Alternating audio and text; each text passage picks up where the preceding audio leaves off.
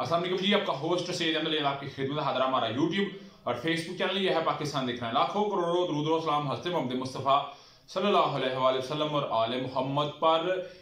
इमरान अहमद खान नदी साहब के ऊपर तोशाहाना का केस।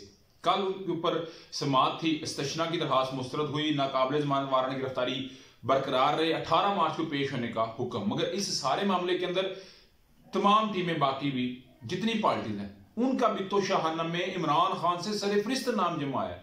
पचास तहफ इमरान खान साहब को जब उनके दौर में मिले हैं, बल्कि उसमें जमा करवाए पचास तहफ इन्होंने तो लपेटा ही है ना सब कुछ। अभी रात के इतलात ये मसूल हो रही है कि एहसन इकबाल और और बहुत सारे इन्होंने वो तोहफ वापस करने शुरू कर दिया कि जी हमने उस वक्त जानबूझ के कम कीमत लगवाई थी, अभी हम जो है वो उतनी माली के पैसे वापस कर रहे एक अच्छा जेस्टर है। मगर याद रखिएगा जिस जिसने शेख रशीद वाली बात, जिस जिसने करप्शन की, गाजर खाई है, उसको पक्की मिलेगी और मिलनी भी चाहिए। और इन्हें पता है कि मामला अदालतों में जाएगा तो फिर अदालतें रिस्पेयर करने वाली ना ना ना अदालतें फिर हर एक को पकड़ेंगी।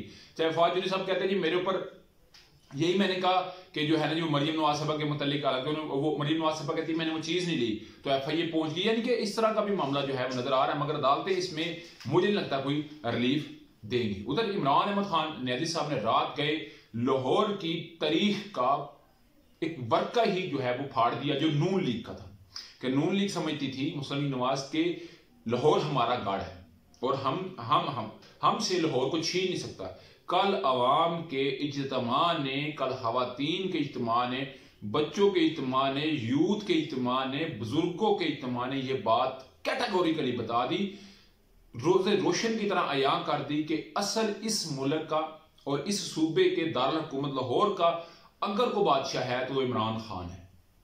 अगर सियासी कोई बादशाह है तो वो इमरान खान है और हम किसी को कबूल नहीं करेंगे। खातन वहाँ पे सूरत यासिन पढ़ती नज़र आई कुरान पाक की तलावत नज़र कर, करती नज़र आई क्योंकि वजीराबाद के अंदर उनके ऊपर असैसिनेशन अटैम्प्ट हो चुकी है और इससे कहीं ज़्यादा गुना ज़्यादा जो है ना जी वो लाहौर के अंदर लोगों ने अपना इज्तम किया। वजीराबाद को मैंने बिल्कुल बड़े करीब से कवर किया था। अभी इमरान खान साहब ने जी ऐलान किए हैं और मीनार पाकिस्तान को एक दफ़ा फिर उन्होंने भरने का प्लान तैयार किया है। छह दिन का नोटिस है और मीनार पाकिस्तान इमरान खान साहब की जमात को पीटीआई को जहाँ से अरूज मिला, मीनार पाकिस्तान। जब रजीम चेंज ऑपरेशन हुआ, उसके बाद भी मीनार पाकिस्तान है। आज अगर पंजाब के तख्ते पंजाब का मुकाबला है और उसका फैसला है, और डेफिनेटली वो हो चुका है, अवाम ने गैलप सर्वे ने, तमाम सर्वे ने, तमाम रिपोर्टों ने ये बात कह दी है कि अगर इस मुल्क का या सबसे बड़े सूबे पंजाब बारह करोड़ अवाम की नुमाइंदगी करेगा तो वो इमरान खान की जमात पी टी आई ही कर सकती है, इमरान खान ही कर सकता है, और कोई नहीं कर सकता। तो इमरान खान साहब ने जी मीनार पाकिस्तान को भरने का प्लान तैयार कर लिया। इतवार के रोज होगा, मगर इतवार से एक दिन पहले, अठारह मार्च को तो शाहाना केस में इमरान खान साहब के नाकाबले जमानत वारंट गिरफ्तारी भी है तो वो भी डेफिनेटली जो है वो हो गए हुए हैं। तो उसलिए इस्लामाबाद पुलिस आ चुकी हुई है। इसमें बिलाल कमियाना स्पेशल कमांडोज तलब की गई है। रेंजर ऑलरेडी पंजाब के अंदर है। तो मुझे वेरी सॉरी टू से मुझे लग रहा है कि तीस अप्रैल से पहले मुझे इमरान खान साहब बाहर नज़र नहीं आ रहे।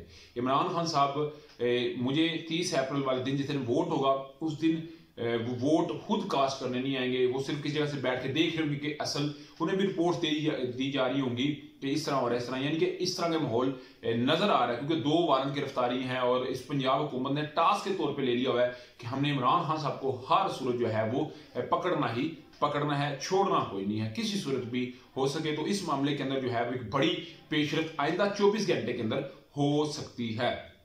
उधर तोशाना केस की अगर बात की जाए तो लाहौर हाईकोर्ट ने बकाया तौर पर 2002 से पहले का तस्दीक शुदा सारा रिकॉर्ड जो है वो तलब कर लिया है। और जिस जिसने इस्तशना जिसको लिया था, उसको भी कहा कि क्यों इस्तशना क्यों लिया इसकी भी रिपोर्ट हमें लाजमी है। तो इस वक्त लाहौर हाईकोर्ट क्योंकि उन्होंने इस सारे मामले के ऊपर कहा था कि इसको जो है वो आशना करें, सबको दिखाएँ। अभी लाहौर हाईकोर्ट ने इसको टेकअप किया हुआ है और मजीद भी आगे इसको लेके चलेगा। आप क्या समझते हैं लाजम करने से शेयर किया। अभी तक का ब्लॉग था, अभी तक अपडेट थी।